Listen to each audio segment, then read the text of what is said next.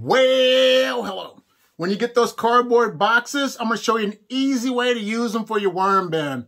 If you have never used cardboard, try it out. It is a great resource and let me know your thoughts on it. But when you get your box from Amazon, what you should do, the easiest thing to do is take off the labels. Easy to rip off. Get as much as you can off of here. Now, if you have access to your utility knife, use that. But warning, use with extreme caution. Use a sharp blade. And to speed up the process, what you want to do, we call it scoring. You want to score this tape off here because this is not really good unless you can rip it off. But why waste your time? We can just score it. You know, be careful, cut away from yourself. Score it off of there. Take that off. Once that's removed, keep on going around your box.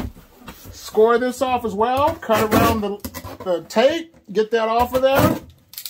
Once you keep scoring and get all the stuff off of your box, this is what it looks like when you score your, your box.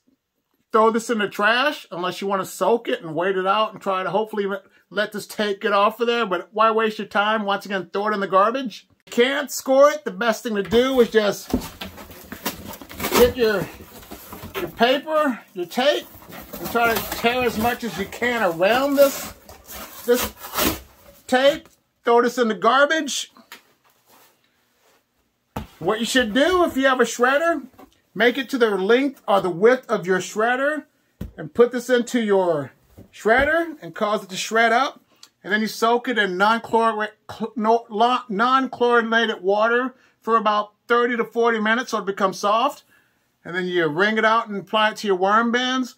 But if you don't have the access to a shredder, you can tear this up make it in small pieces, soak it in your, your non-chlorinated water for about 30 to 45 minutes. This will be easy to tear by hand. If you, if you use a shredder, this is something that you have to do if you want to keep that shredder active and going, to keep cutting your cardboard for your worm bins. So check this video out, and I'll see you in the next one.